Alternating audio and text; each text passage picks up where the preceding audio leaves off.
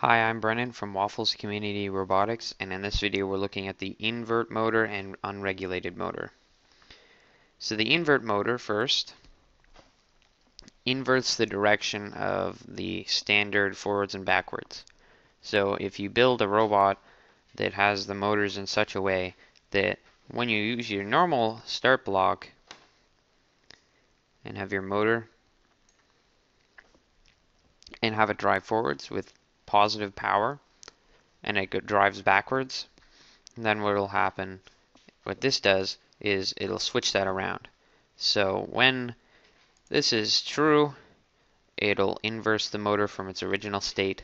When it's false, it'll keep it uh, at its original state.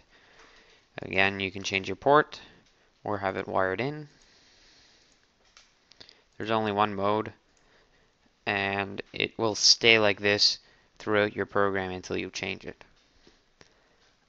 Um, it will work on both the medium motor and the large motor, but not the steering blocks. For that, you'll have to actually um, keep going in a negative direction, negative uh, power level. Uh, this would be port A. So that's the invert motor. And if we go to the unregulated motor, also a very simple block. There's no um, extra settings. You pick your port, and unregulated motor just uh, runs power level.